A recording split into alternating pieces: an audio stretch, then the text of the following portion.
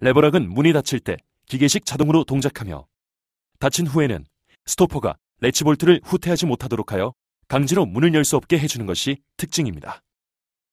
레버락은 문을 열고 닫는 과정이 기계식 자동입니다. 이 기능은 건전지 소모량을 50% 절감시키며 디지털보다 안정적입니다. 배터리는 3A 4개로 20개월을 사용할 수 있습니다. 제품을 이용하기 위해서는 유저 비밀번호와 그랜드마스터 비밀번호가 필요합니다.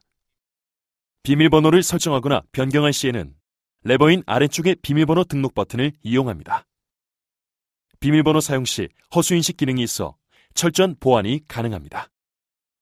비밀번호를 5회 이상 잘못 눌렀을 경우에는 경고음이 울리며 자동 락 모드로 전환이 됩니다.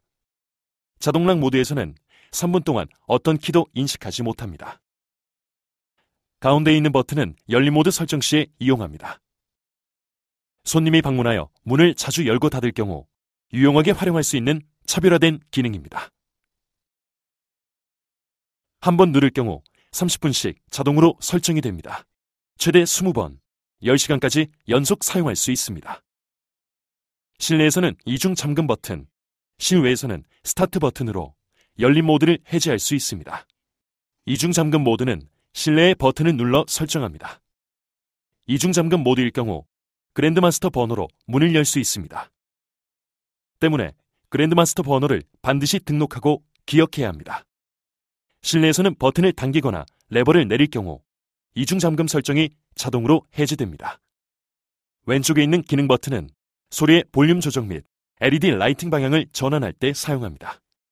프로그램이 엉켜 작동이 안 될 경우 초기화 버튼을 뾰족한 도구로 누르면 회로가 restart합니다. 화재 시에는 화재 감지 센서가 동작하여 외부에서 문을 열 수 있도록 잠금이 자동 해제됩니다. 저전압 시에는 경보음을 통해 배터리 교환 시기를 알려줍니다. 건전지가 방전되더라도 사각 9V 배터리를 사용하여 출입이 가능합니다.